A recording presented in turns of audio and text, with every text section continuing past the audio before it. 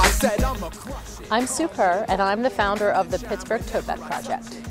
And we're here today in our office, which is helmed by my CRV and our little table. What we do basically is collect tote bags that we then pass on to the food bank. And they're distributed to 300 or so pantries in 12 counties. And the reason is that it makes it easier for people to carry groceries. It's about access.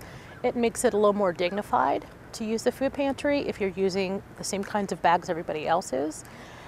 It reduces their dependency on disposable bags and it frees up money. So every bag that we donate is three or four bags they don't have to buy. And that's money that could be spent on food. Well, in 2009, I was at a food distribution at the food bank itself in Duquesne. Um, I was, I'm a social worker and I had some clients there. I was observing what they were doing and I was live tweeting because I wanted to give people a sense of what life was like. That was right at the height of the um, Great Recession. I'm watching people come out of the building and I see that they have dozens of small orangish, those thin little bags filled with produce. And, and distribution is an average of 30 to 40 pounds. They also have paper shopping bags that are great for clothes, but not so good for big heads of lettuce and celery and everything. So people are coming out and one gentleman's bag ripped open, a head of cabbage rolled down the hill. It's become an infamous founding story now. he went after his head of cabbage because that was several meals, and some folks came out and got him all sewn up with some new bags, and he had even more bags as he left.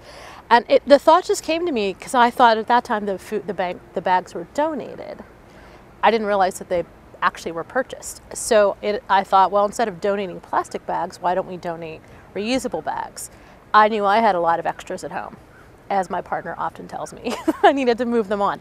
So I live tweeted that, and unknown to me, um, on the other end of Twitter was um, someone from the Pittsburgh Foundation who was paying attention to what I was writing about and tweeted back that he would send me a couple tote bags the next day or so at work, which he did, and that was how the tote bag project got its start. So, so tell me. So we've been doing this for 19 months, and the response has just been incredible. We're all volunteer. Our budget is less than $2,000 that we've just raised from donations that people give us, literally handing me $5 here, $10 there. And we've collected over 22,000 bags, which just I would never have dreamed of when we started. Our first couple months we collected 300 and I thought that was awesome. so um, I guess a couple things that have been the most interesting to me have been who's stepped forward to become a partner. You know, we certainly partner with the hunger organizations and they've been very supportive and that's been great. But the environmental community has really jumped on this and Pennsylvania Resources Council, Construction Junction, Pittsburgh Center for Creative Reuse, just pretty much everyone in Pittsburgh that's working on some sort of environmental issue has become involved in some, some level. Either they're collecting bags, they're doing a drive, they're promoting it, they're just simply lending their support. The crafting community, we've discovered that we're very crafty.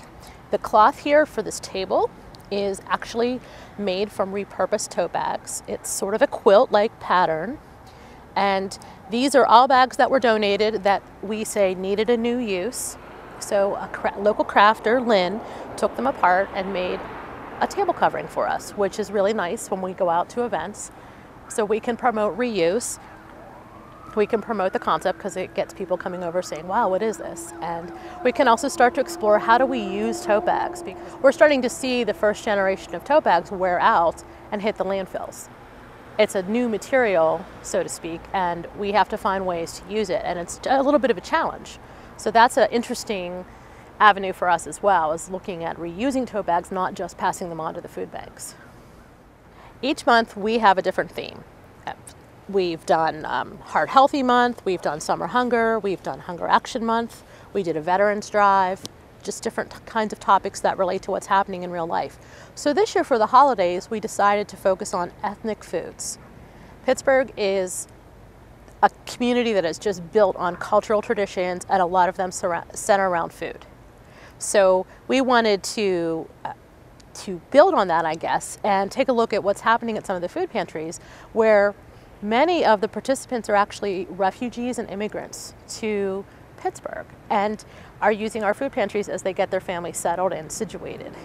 And there are so few stories that are positive about members of those communities. And when I discovered that they're using the tote bags like no one's mother, I mean, just that I didn't really say that right, but they're using the tote bags just in a way that we wish we could learn, and because it's just part of their cultural ethics. And I wanted to do something to give back. So we thought that an ethnic food drive would be an interesting play on the holidays and also raise awareness about the kinds of things that can be donated beyond your typical items that people are familiar with. So we're inviting the public to um, basically collect ethnic foods in tote bags and donate them, and then we will pass them on to the food bank so they can get out to families so that everybody can celebrate the holidays with their own ethnic traditions.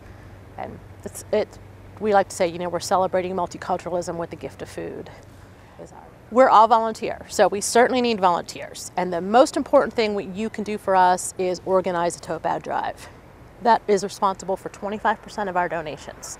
It's just like a food drive. It could be done at work, at your faith community, at school, with your youth group. You simply ask people to bring in donations, collect them, call us, we'll pick them up. The beauty of that kind of drive is that people don't have to buy something. Some of these totes here are new, but a lot of them are gently used, just extra ones that people picked up or received.